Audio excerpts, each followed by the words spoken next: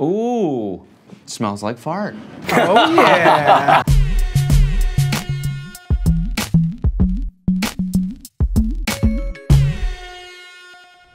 When Josh Weissman and I get into the kitchen, anything can happen. So today, we wanted to challenge ourselves to do something we've never done before, using both our backgrounds in fine dining. What would it look like if we made a super fancy, modernist burger using the principles of molecular gastronomy? You know, using tweezers, foams, and gels, pinkies up vibes. And better yet, cook it in a giant mansion just to set the mood right. So we went for it. And let me tell you, it was hard work, hours upon hours of preparation. Was it worth it in the end? We'll leave it up to our buddy, YouTuber Cody Ko, to let us know if we failed or hit the mark. God help us. Cody, Cody. welcome to my lair. Thank you for having me, man. I'm stoked. I feel like I'm in like a Sons of Anarchy table, you know, and like I'm like the guy who like owes you money. Where's the gavel at? Where's the skull at? Come on. Bro. What kind of a set is this? We're gonna give you an acid trip of a, of a meal. We like deconstructed, reanimated, killed, brought back to life Frankenstein, and then reanimated again to create. A burger. Cool. Actually, you know what I'd love to hear? I'd love to hear uh, what do you think we made? Well, I, someone along the way said something about gastronomy. I think even the first time you called me, you were like, "It's a gastronomy thing." So I'm picturing like little dollops of beef, like, and you know, I'm picturing like a. Oh art. yeah. I There's want, like, dollops of stuff. There's dollops, there's dots. I've never had like experimental scientific food. This is just gonna be more of like a burger that hopefully you've never had anything remotely close to this before. I'm pretty proud of what we're gonna make. I think we did good. Yeah. I'm ready to show 'em. Yeah. Ready? I cannot wait. Oh no. I'm starving. I can't wait. Let's get into it. Let's go. Oh We preach meat cheese bun. this is the opposite. This is the complete fucking opposite. Yeah. We're doing a modernist burger. It tastes like a burger but doesn't look like a burger. We're not really stepping too far away from a burger. We're holding the soul of a burger and then just putting it in a different body. So to translate that, that means that we have to spend days to create a hamburger, which usually takes seven minutes to make. It's a hambouge. It's a hambouge. We're taking something that costs usually four to eight bucks. And literally my salary, his salary for three days. This is a fucking $15,000 burger. this is easily the most expensive burger ever produced. Just to show you how hardcore this burger is, let's go behind the scenes and look at the footage of what we did two days in advance, just for you. Wow, it's really fucking hard. Yo, this beef is fucking primo. Tastes like a pickle though. Flour, oil, water, or is it oil, water, flour? Fuck it, we'll do it live.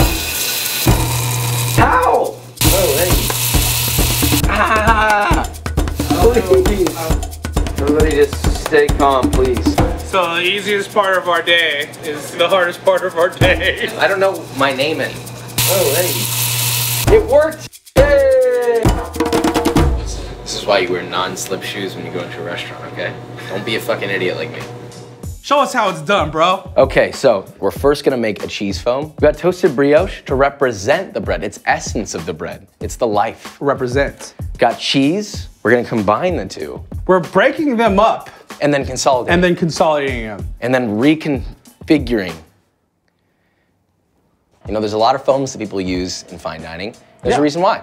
If it's aerated, technically it hits all your, you know, taste buds and everything. So technically you could taste the full flavor better when it's aerated. Also, textures are very important in this style of cuisine. That's right.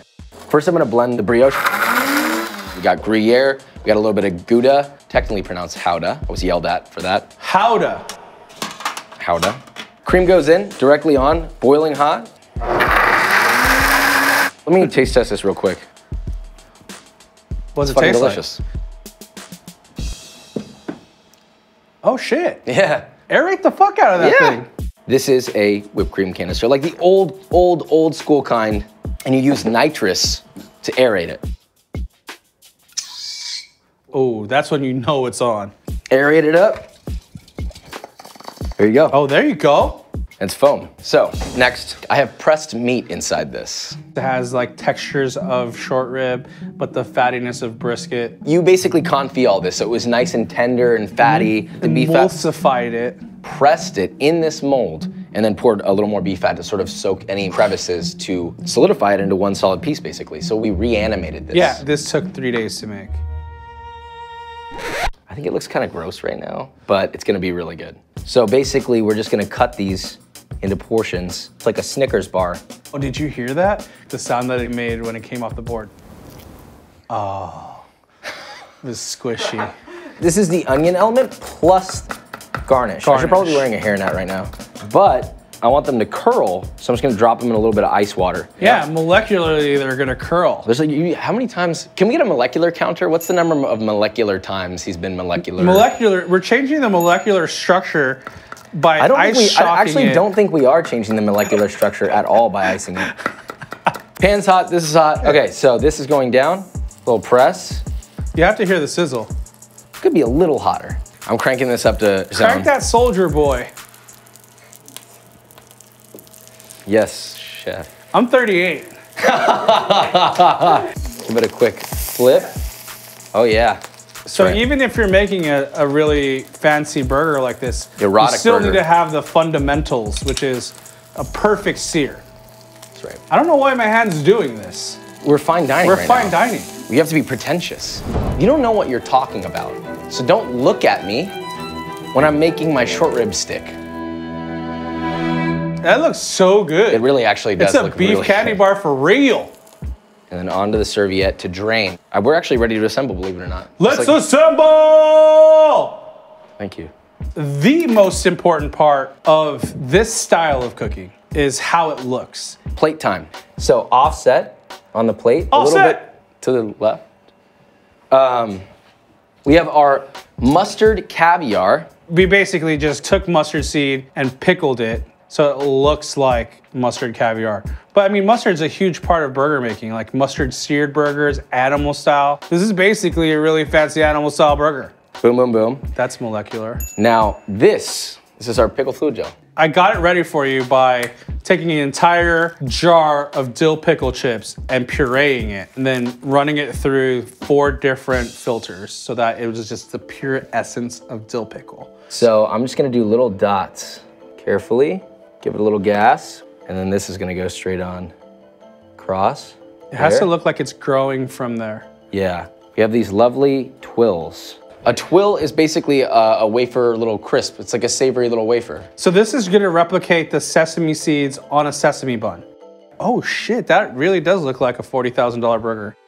This could be like one of those shots in TikTok where they're like, Next, with any good burger, we have to do french fries and make a Parisian gnocchi. It's basically potato puree, eggs, and some salt, and a little bit of flour to hold it together. And then we're gonna pipe it out and fry it. pipe it up. You did that to me earlier. I'm sorry. You deserve Can I it. do it again? Pipe it up. Pipe it up. Sheesh. Sorry. Okay. Into the fryer, I have ketchup, leather, and I have dehydrated tomatoes that we're gonna turn into tomato powder. That will be the side dish, and we're gonna plate it on this beautiful live wood, so it looks like it's like very earthy. Unbelievable. Guys, this isn't just wood. This is wood, wood from like generations ago. He, This he went was to the top of a mountain, killed a bear, because there was a baby. The baby was was late was sleeping Yeah. on this, and it And you was on the afraid to- top of the mountain, and I got it, and I and I got it. It was crying. It was crying, and I was like, no, no, no, no, no, don't cry. I'll Yeah. save you. You removed the wood instead of picking the baby So up. I took the baby, I put the baby down, and I took the wood, and I said, holy shit, this would look awesome with fries. Let's stop messing around. We're on a tight schedule. Let's make a powder.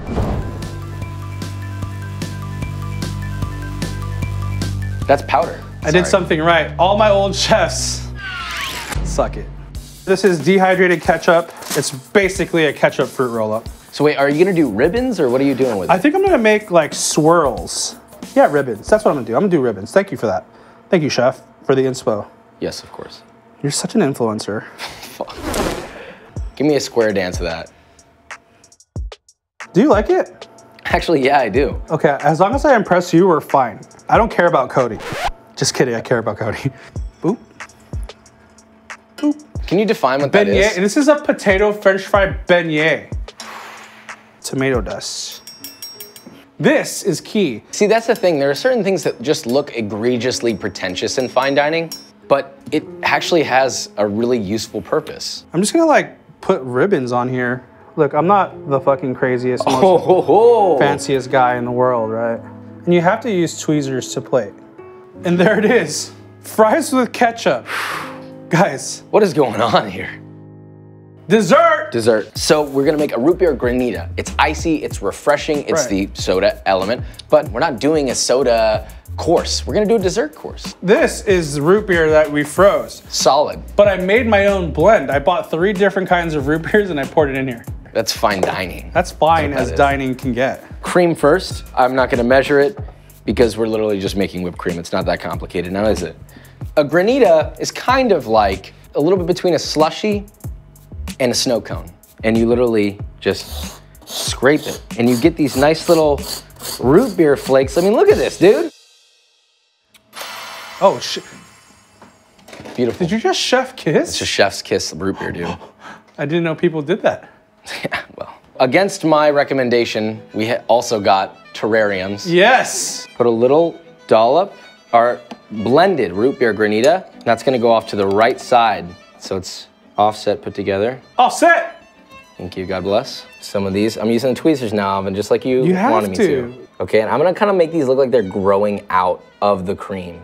Voila. Bone apple tea. Burger, fries, root beer float. Made by science.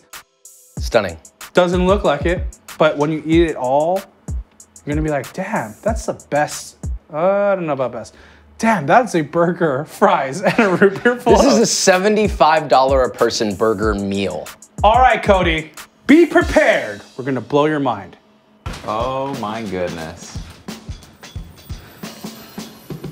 Ooh, smells like fart. Oh yeah. That smells amazing. That's the burger. Okay. It looks like a little protein bar. You That's know? definitely a protein bar. It's a pro- it is a It is protein a bar. protein That's bar. correct. what you have here is you have a confit short rib cake, followed by a brioche Gruyere foam, mustard caviar, pickled fluid gel, and a sesame coral tuile. I didn't recognize about a third of the words that you said. And that's that's what we're going for as as chefs. I think the goal is always how do we confuse the shit out of the diner? Yeah. yeah, yeah, right. It's a moose bouche. Yeah, I'm Yeah. about to amuse your mouth. Yeah. What is this? What do Um, this is my version of French fries. Ooh. Like a potato Parisian gnocchi, and then there's ketchup leather with tomato powder. How do you recommend he eats it? You should try to get every element into each bite, and that's that? that's the bite. Yes, that's, a the perfect bite. What are we thinking off the bat? Very rich. Short rib is very like tender and fatty and really like good. Yeah, it was confit in tallow. I'm like very pleased. Awesome. So, Let's go. I'm pumped to try these because they look like beignets. Yeah, And that's my pretty, favorite thing. That's pretty much what it is. It's basically fried dumplings with ketchup leather. Let's go. These are amazing. Like the mouth feel is Mm. super crazy. Like you'll be tasting ketchup for like the next three minutes.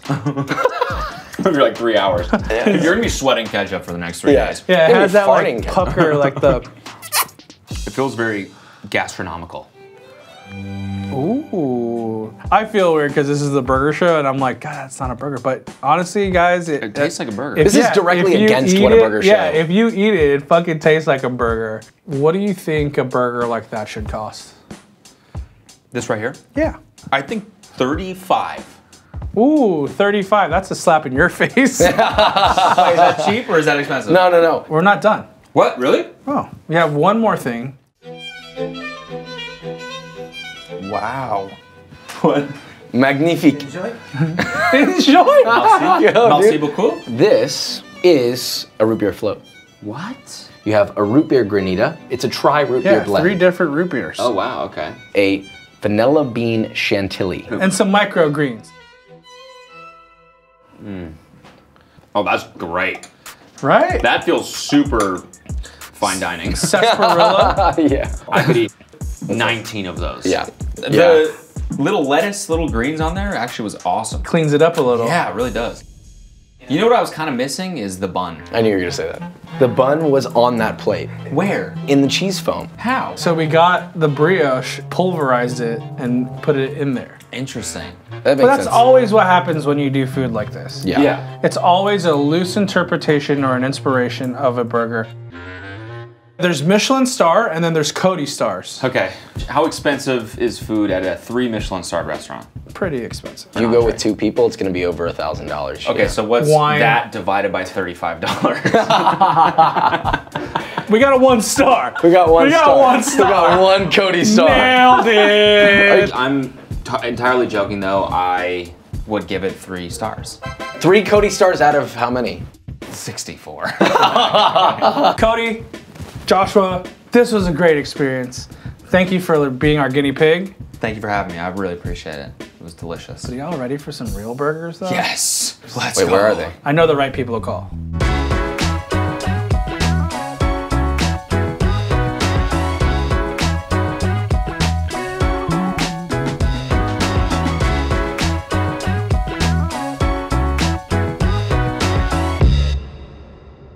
What's up, Burger World? Thank you for watching. Make sure you hit that like button, smash that subscribe button, ring that notification bell. If not for me, for the burgers. I love you.